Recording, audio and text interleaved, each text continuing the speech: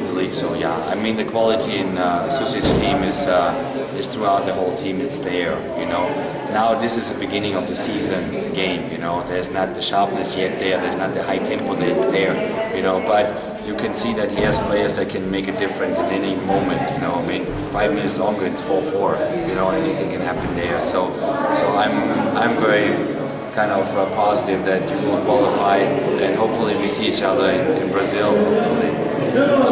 Thanks, everyone. Thank.